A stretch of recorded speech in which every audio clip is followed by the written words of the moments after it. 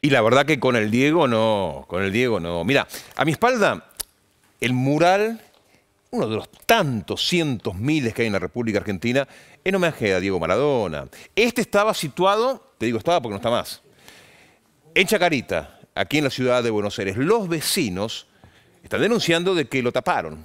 Donde había mural, ya no hay más. Para homenajear a Diego en el día de su cumpleaños, que fue el 30 de octubre, el domingo 31, eh, hicimos el mural acá enfrente. Eh, el mural quedó hermoso, mucha gente del barrio se acercó, nos felicitó por haber hecho el mural, por tomar la iniciativa, por regalarle eh, arte al barrio. muchos pasaban y se sacaban fotos como que se había convertido en algo turístico, si querés, de turismo interno. Eh, y bueno, eso solo duró 11 días.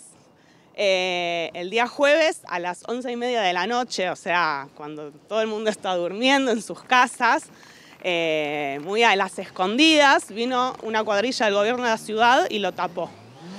la cuadrilla vino escoltada por la policía de la ciudad.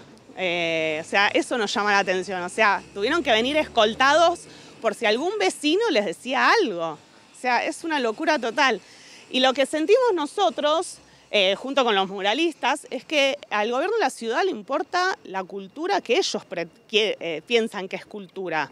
Ahora lo que queremos hacer, porque muchos se solidarizaron con nosotros, eh, muchos vecinos, vecinas, agrupaciones del barrio, hacer buscar otra pared y volverlo a hacer. Esa es nuestra intención, volver a pintar el mural.